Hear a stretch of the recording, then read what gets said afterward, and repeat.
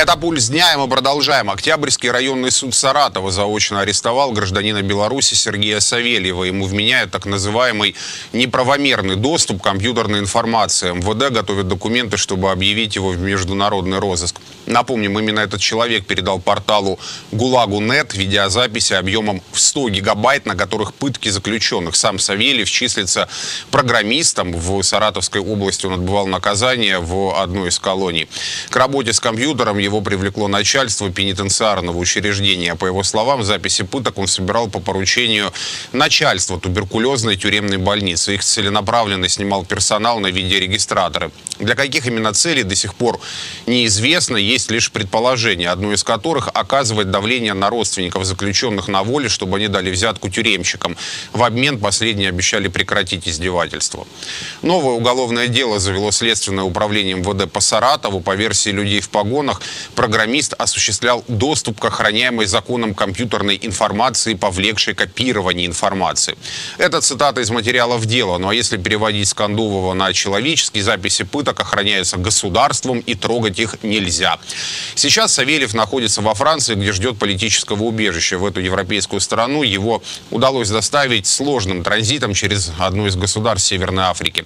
Пресс-секретарь главного кремлевца не стал комментировать правомерность объявления федеральной розыски розыск Савельева. Представитель любителя стерхов посоветовал журналистам обращаться с этим вопросом к правоохранительным органам. Дальше цитата Пескова. «Мы не знаем причин, по которым он был подан в розыск. Это не наша сфера». Конец цитаты.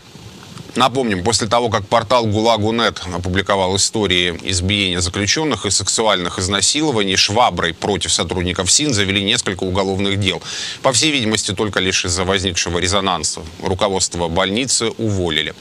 К разговору подключается российский публицист Игорь Яковенко. Игорь, я вас приветствую. Такой вот, наверное, будет первый вопрос. А все же, на ваш взгляд, если Савельев обнародовал то, что даже российским уголовным кодексом запрещено, то зачем его за это арестовать? Арестовывать и заводить новое уголовное дело? Здравствуйте. Ну, э, мы в России находимся в зазеркалье, где правда и ложь, э, добро и зло меняются местами. Э, поэтому то, за что человека надо награждать, и, в общем, действительно, этот человек проявил огромное гражданское мужество, что все это сделал, и этот человек действительно пытается каким-то образом улучшить ситуацию в нашей стране, в России.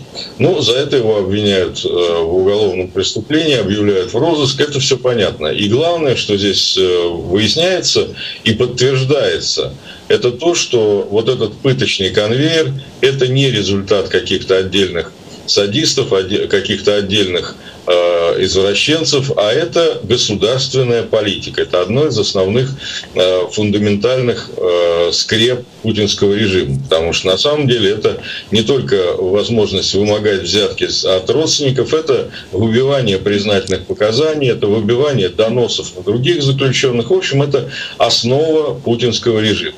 Ну и поэтому это величайшая государственная тайна, за которую надо э, человека отыскать, наказать, посадить опять-таки в тюрьму и опять-таки пытать, засовывать э, швабру в прямую кишку. Значит, э, очень характерно отказ, э, э ну на самом деле понятно, что это не Песков, это Путин, отказался э, э интересоваться этим делом, потому что э, очень характерно вопрос же ему был задан, ну как же, вот вы, Владимир Владимирович, э, интересовались значит, делом Сноудена, делом Ассанжа.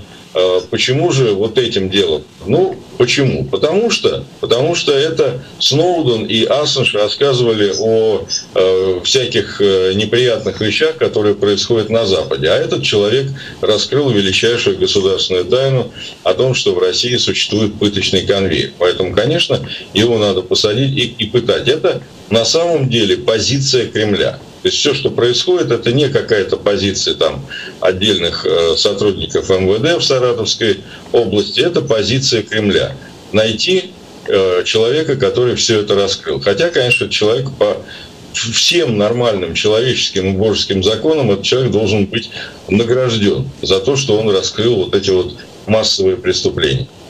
Игорь, а тогда следующий вопрос. Как вы думаете, на что рассчитывает МВД, когда пытается, ну, вероятно, с помощью того же Октябрьского районного суда Саратова объявить в международный розыск Савельева? Неужели они думают, что европейская страна, даже если это правда, и сейчас он находится во Франции, его выдаст российским властям? Конечно, нет. Конечно, на это нет расчета. Но есть, э, есть определенный расчет э, просто не на то, чтобы это привело к каким-то результатам, а просто надо вот произвести такие действия. Ну, мало ли как дальше выйдет.